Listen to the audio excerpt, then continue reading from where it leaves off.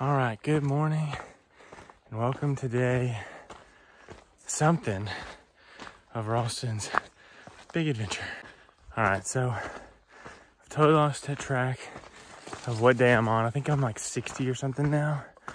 But uh yeah, so I'm in the middle of Shenandoah National Park. Um stayed in I think Black Rock Hut last night which they call shelters huts here for whatever reason. Anyway, so I stayed there last night. Uh, I've got 21 miles today to the hut that I want to stay at. So it's gonna be a pretty long day, and I got a pretty late start. It's 8:52 right now, and I'm just leaving the shelter. Um, the great thing about uh, Shenandoah is is that basically the trail parallels the Blue Ridge Parkway or Skyline Drive as it's called here. Um, and there's all kinds of like restaurants and lodges and stores and all kinds of stuff along the way. So there's a store right off the trail, like probably six miles from here and they've got blackberry ice cream and coffee and some other goodies. So I'm gonna stop in there for a quick break and then keep moseying on. um, the weather, I think it's supposed to be pretty calm today. Just pretty overcast and foggy. So there are gonna be like no views, but it's gonna be cool. So that's a plus. Um, yeah. So, I think that's about it. I'll update you guys as the day goes on.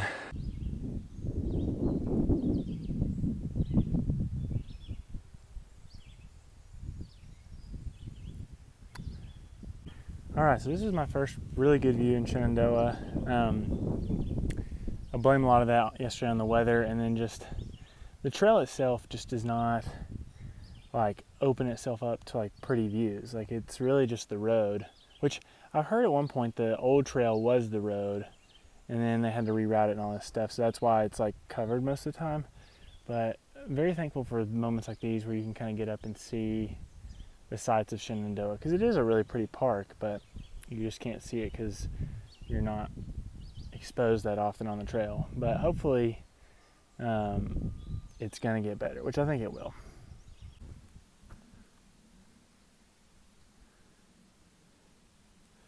Hey, buddy.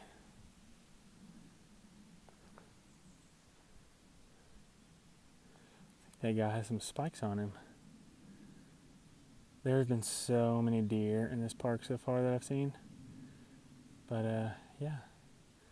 Always fun to see a deer.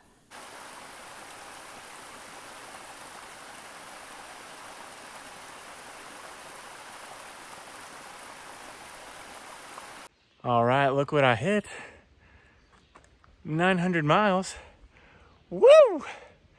This is crazy. Uh, my parents are coming in town tomorrow to slackpack me, so I actually should be a thousand in like four days, which is nuts. But very happy to be at the uh, 900 mile marker today.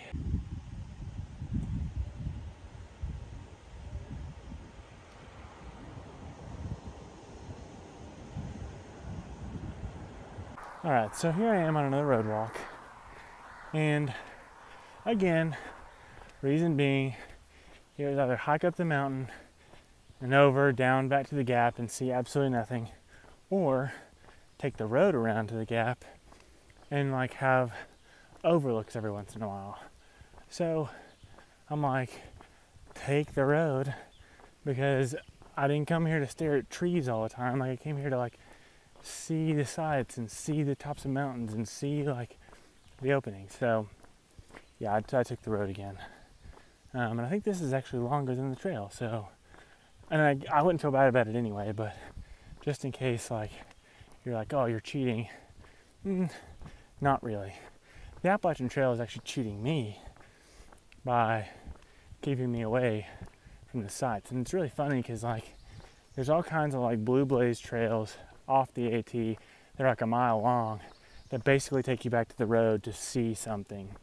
So it's just Shenandoah has been, I have to say, really disappointing with how it's kind of laid out.